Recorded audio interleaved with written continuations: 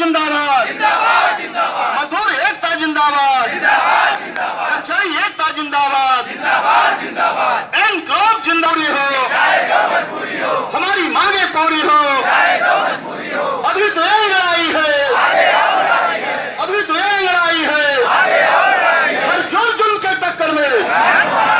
हर जुल जुल के टक्कर में। सरकारी कर्मचारी जो होता है उसे एक आशा एक सुविधा है। और एक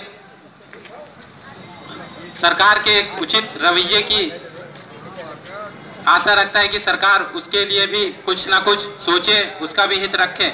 जब सरकार अपनी ऐसी मंशा रखती है, जहाँ हम लोगों को महत्व नहीं देती है, जो कि देना चाहिए तो उसके विरुद्ध फिर हम लोग अपनी लड़ाई के लिए और कोई उपाय नहीं होता है। यही एक रास्ता बचता है हम लोगों के लिए कि सरकार को हम लोग अवगत कराएँ कि हम लोगों की भी कुछ मांगे हैं कुछ आशाएँ हैं जिसको आप ध्यान ये आप सभी जानते हैं, ये पूरा देश, दुनिया जानता है, पूरी यूनियन जानती है और यहाँ के सभी लोग जानते हैं कि हम लोग हड़ताल किस लिए कर रहे हैं। हम लोग की कोई नई मांग नहीं है, पुरानी पेंशन कोई नई मांग नहीं है हम लोगों की। ये बहुत पुरानी मांग थी, लेकिन इसको सरकार ने नई पेंशन स्कीम में बदल दी, जिसको आप कह सकते हैं नो पेंशन स्कीम एक तरीके से।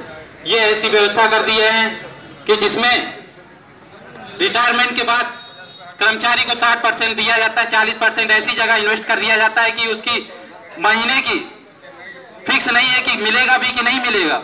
ऐसी जगह इन्वेस्ट कर दिया आपने।